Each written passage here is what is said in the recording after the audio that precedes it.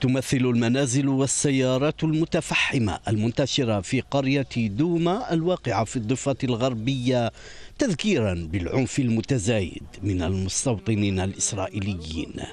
قام المستوطنين بالحشود على قرية دومة لأكثر من 1500 مستوطن. كان الجيش الإسرائيلي متواجد أثناء حشود المستوطنين. طبعا أنت بتعرف إحنا كقرية دومة أو كشعب فلسطيني إحنا لا نمتلك أي, أدوات الدفاع عن, عن أنفسنا.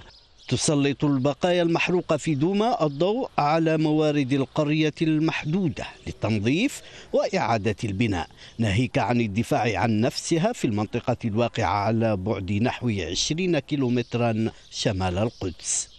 اجوا علينا على البيت وحرقوا البيت تبعنا وكسروا البيبان وخلعوا الشبابيك. ضربوا عند الحج الوالد عمره ما يقارب 95 سنة. ضربوه هان حجروا هان على الحجر على ظهره. يعني سطحوا راسه خدته على المستشفى. صار تصرفهم عدواني أكثر. من بعد 7 أكتوبر صار التصرف هو طول عمره عدواني لكن في الفترة الأخيرة عدواني أكثر. وكان الهجوم الأخير على دوما جزءا من موجة من أعمال عنف أثارها مقتل فتى إسرائيلي. تؤكد إسرائيل أن قاتله من القرية. في كل القرى الفلسطينية هناك اعتداء ممنهج هاي أنا فعلا إنها دومة عاشت معركة حقيقية أمام المستوطنين وجيش الاحتلال الإسرائيلي.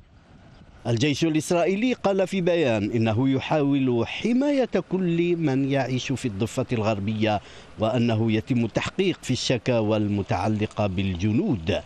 بينما وثق مكتب الأمم المتحدة لتنسيق الشؤون الإنسانية نحو 800 هجوم للمستوطنين ضد الفلسطينيين في الضفة الغربية منذ السابع من أكتوبر.